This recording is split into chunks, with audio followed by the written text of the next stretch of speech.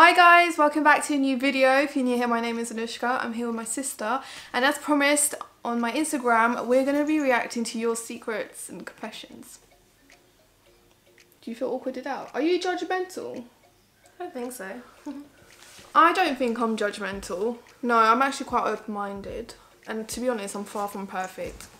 Maybe she's the, she's been the perfect one. I've been the rebellious kid, anyways. Um, before we jump into the video, I'm gonna do my post notification shout out. And today's one's gonna go to Katja Ignacio. So thank you so much for subscribing and hitting that bell button. Um, if you guys want to get one next time, all you have to do is subscribe, press the bell button, and then let me know in the comments below when you've done so. Right. So shall we get started? Are you scared? I just don't know what to expect. I got so many. Guys, you lot went in. Like, I've got so many that I took screenshots of and then I did it again. Anyways. Oh my god, this one's hilarious. Okay, let's start with the funny one. This is light-hearted. Um, and by the way, you guys will stay anonymous. There's no judgment here, and obviously I won't say your names or whatever. Like, it's just not like that, okay? When we were younger, my sis, our friend, and I farted on beanbags and trapped them in jars. My what? my sister, our friend, and I. But how do you do that? Fart in beanbags and trap them in jars? But then what did you do with it after? Like, Maybe they kept it, smelled it one day. See if the smell gets worse. well, I'm not gonna lie. I have farted it. I farted before and tried to grab it with my hand and go in her face. That's disgusting. disgusting. My boss made me fall in love with him and told me he loves me. Then I found out he was engaged. There's too many wrong That's like a things movie scene. I know, but first of all, leave the boss out of it. Just save yourself some trouble and don't do anything with the boss. Don't you feel like? Yeah. I feel like if you're single, then it'll be quite, it'll be like a Fifty Shades of Grey kind of thing. what film do you live Like the in? boss. But he's engaged. Yeah. That's such bullshit. Like he's a. I would tell. The. I would tell the fiance. I will go to human resources. Oh yeah, tell the fiance. but the person is in love with the boss too. ah. So it's a love story, but he's engaged. So does he really love you? Does he really? Because if he was engaged to you, imagine if he done it to another girl. Yeah, I feel like if he's doing it to his fiance, if he was with you, he'd do the same. Exactly. Save yourself some trouble, girl. Trash. Coming from a place of love. The police caught me having sex in a car with my oh my god. I don't have a car, but would you ever do it in your car? I don't think so. I barely get my legs out. Don't act like you didn't do it. Well, no. no, thank you. Absolutely not. Eric's gonna watch this and be like, excuse me. if I had a car, would I do it? I don't know. Wait, then you get like a fine. I just- prison for it or what happened? I don't know, but like, I just feel like it would be so uncomfortable. But I'm sorry you got caught. Damn, that's that must be embarrassing by the Yeah, be police. embarrassed. You were like, ma'am, That's literally like a movie scene as Well. What are you doing? my cousin liked my best friend and used me to get to her and then fell in love with me instead. Wait, the cousin fell in love with the cousin. Oh my god, I didn't even clock that. I mean, if it's a far, far, far, far, far from a different auntie's uncle, No, I don't think. sister, I don't know, but like if it's a close cousin, that is so dodgy to me. Because I I mean, it's- cousins. No, I can't. I just think that's I the can't. worst thing I could possibly imagine. No. I have no comment. I just don't know what to say. Imagine if they're in a brown family. Is a person brown? Well, probably. I don't know. I've heard that before, you know? Well, it happens a lot, I think, but close cousins are a bit, bit much. Yeah. But it's happen. It happens. I feel like, maybe not in the UK, maybe back in the country. I don't know. We should ask mummy. I don't think mummy would hurt. It's more on daddy's side. yeah. There's some dodgy ones that I can't say. don't look at them. I knocked over food at an auntie's house and blamed it on their cat. I feel like that's so something I would do.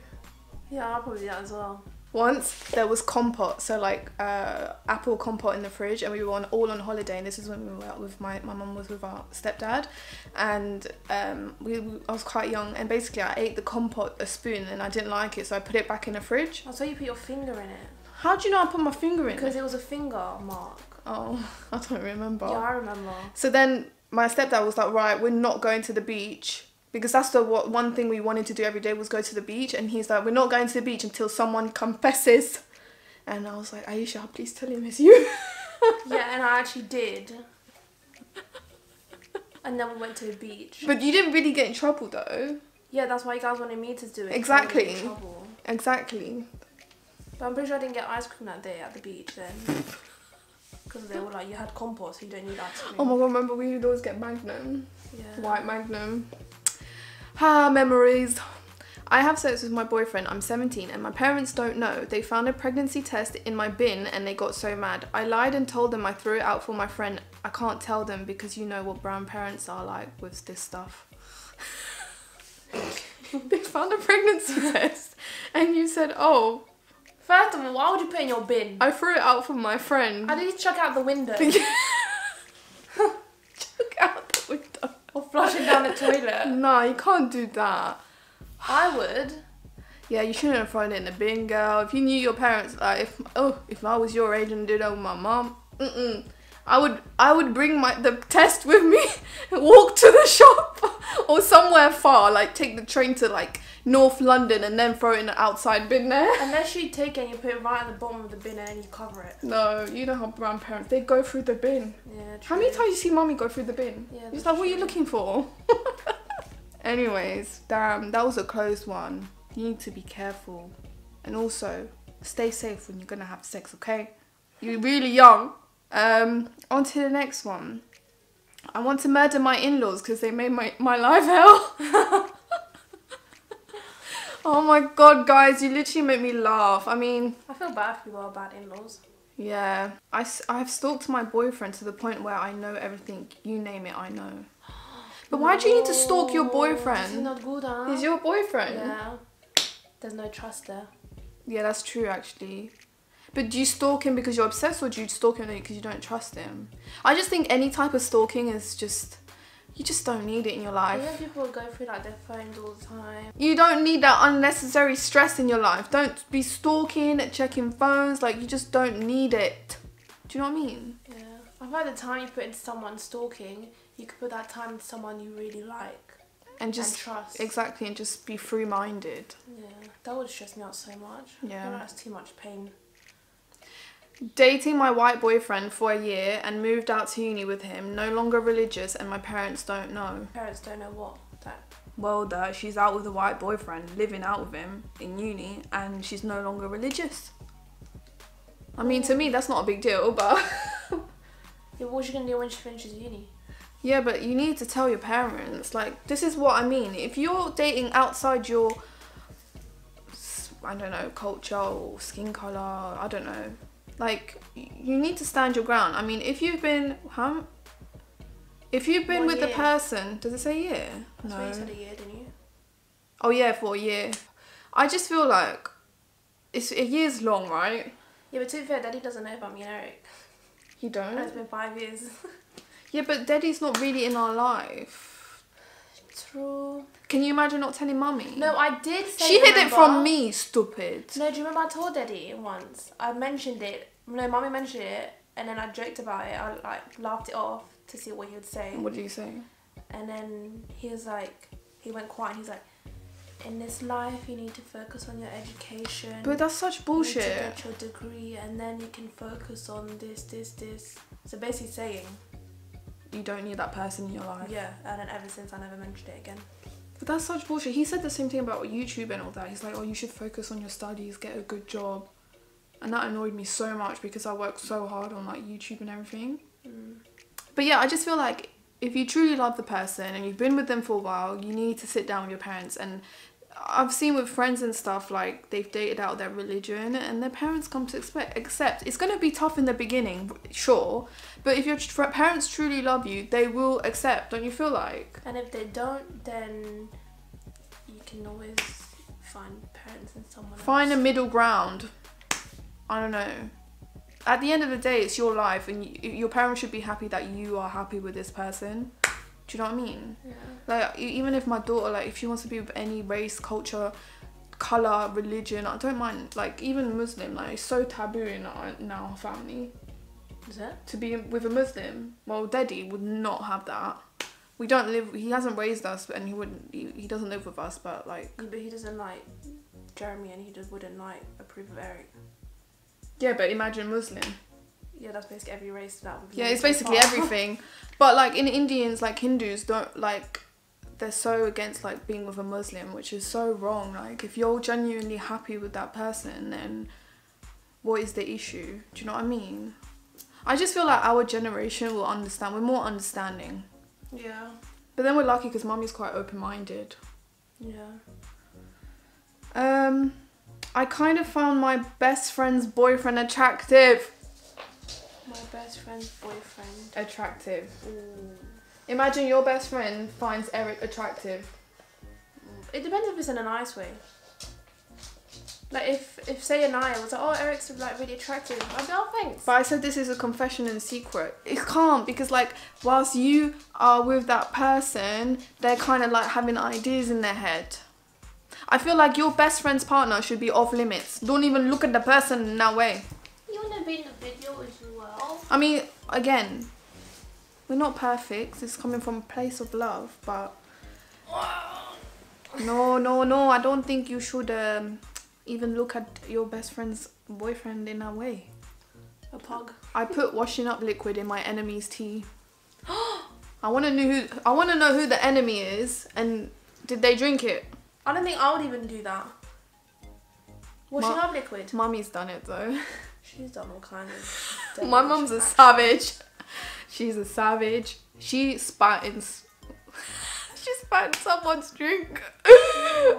she she spilled. I'm not gonna say who, but she was so annoyed at this person, right? Like she had her reasons. Trust me, okay. Um, and she spilled shoe polisher it all in the shoe. Like she dipped. She just dunked the whole the whole bottle in the shoe, and the person ended up putting the, sh- the foot in the shoe, and then the, the foot was covered in black polish. Um, but that's I just find that funny. I mean, it's not right, right? It's not right, but you just got to do what you got to do. If they've done something wrong, then that's what you'd be Everyone has a bit doing. psycho in them. Yeah, would I do that? I probably wouldn't. Yeah, I probably would to be honest. You would. I wouldn't. I'm too nice. I, I, I think of karma and I don't know. I love older men and hate when my friends judge me for it. I am 20 and my boyfriend is 31. It's not that bad. Yeah, I was gonna say the same thing. I mean, I mean, if you was 20 and you were 10, then that's wrong, right? Yeah. But you both are adults. You're both consenting to the relationship, so there's nothing wrong with that. And I don't think your friends, your friends shouldn't be judging you. I feel like people always have something to say. I mean, she went through it, kind Yes, of. I did. I didn't judge you for being older No, the whole school had something to say about it. But they're it. dickheads. And now those same people are like, oh, you guys are so cute together. Oh. When That's I why you shouldn't my- listen to people. When I post our like anniversary pictures on my Instagram, the same people are commenting saying, "Oh, congratulations." Basically, she was 16 and he was 18 and it in was school. just farted on me. Disgusting. So yeah, 16 and 18 is not that bad, but at the time apparently it was. Best not smell it. It best not But come here. Hmm. Hmm. Luna, baby. Why are you pushing wait, it on huh? me? Snuck into my uncle's house with my boyfriend to have sex. Snuck into who? uncle's house. ah. Snuck. Why don't you sneak into your own house? Uh, have you done sneaking around? No, never. I was so innocent. I never had to sneak around. I never had to jump out a window. I never left the house late at night without mommy knowing. So like obviously me and Jeremy are married now, right?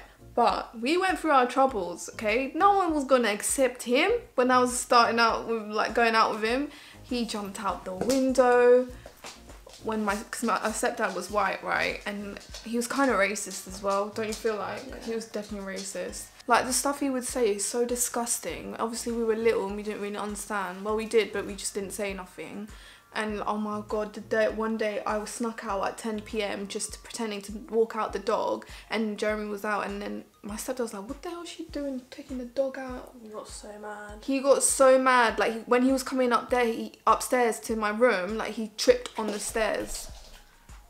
That's how like amped up he was in his head, and then like I've hi- hid Jeremy under the bed, in the shower. And this was when I hid him in the conservatory when my mom didn't know, and my mom would come in my room and he's just literally hiding. In the wardrobe and I'm like, oh. So it's okay. I mean, to have sex, I mean, how did you even do it? I mean, actually, I don't even need to ask that question, do I? I have bitten my toenails. Oh, girl. I don't know how you do it. Oh, no. That's two things I did not like put together.